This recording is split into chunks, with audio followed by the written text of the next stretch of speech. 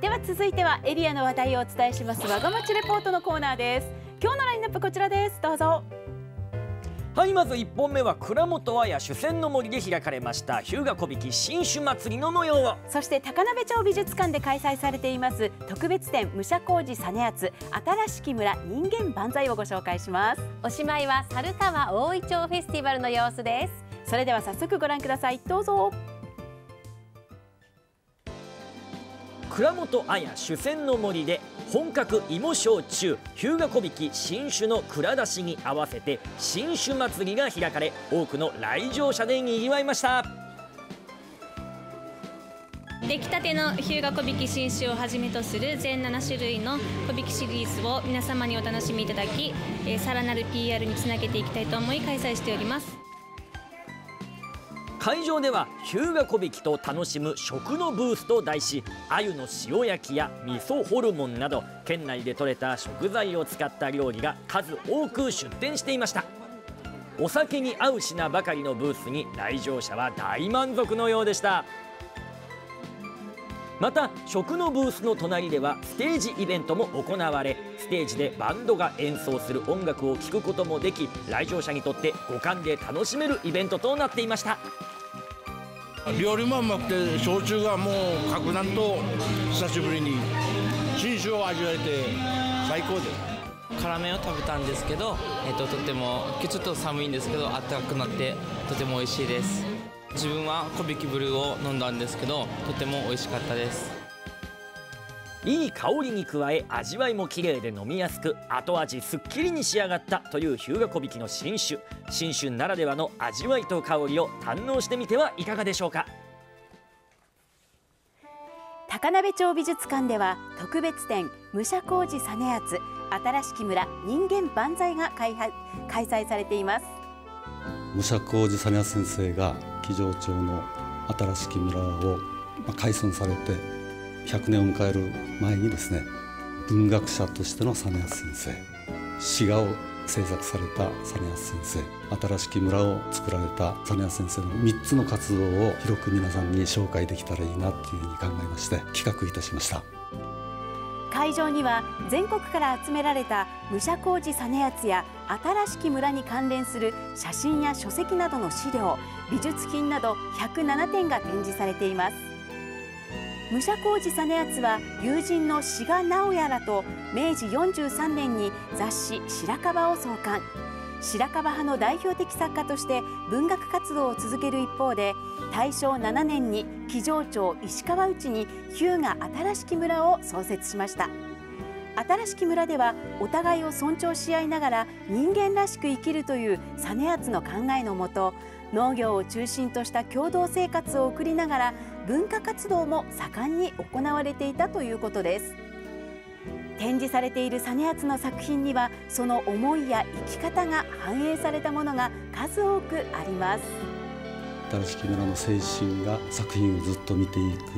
く中で感じ取ってもらえるような展示にもなっておりますので新しき村の精神はどのようなものかっていうのを確認していってもらうといいなというふうに思います。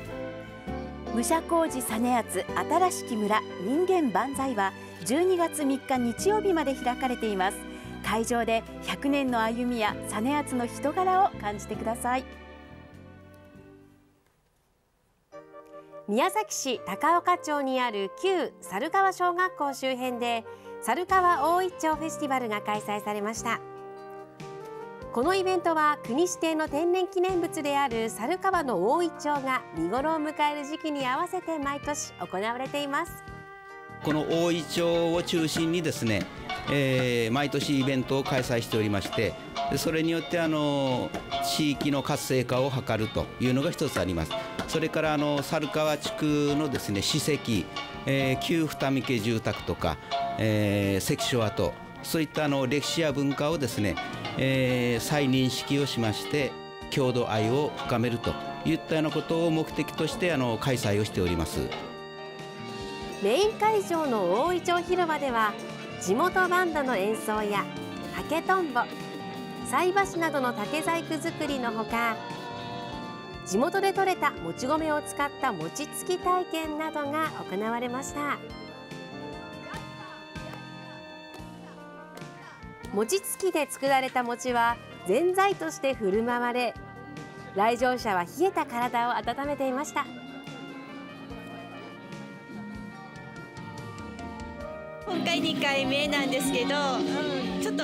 残あの雨で残念でしたけどあのいっぱい葉がついてよかったと思います。地元にこんな素敵なイチョウがあるということはなんか誇らしいことかなと思います。餅も美味しくて、はい、甘くて美味しいです。また近くにある市指定の有形文化財二見家住宅ではイチョウの葉を挟んで作るオリジナルしおり作りや甲冑の試着体験が行われました。板の間のいろりでは会場で振る舞われたおにぎりや豚汁お茶を味わいながら会話を楽しむこともできました。猿川地区が一体となって行われるこのイベント。これからも猿川の歴史と文化を多くの人に伝えていってほしいですね。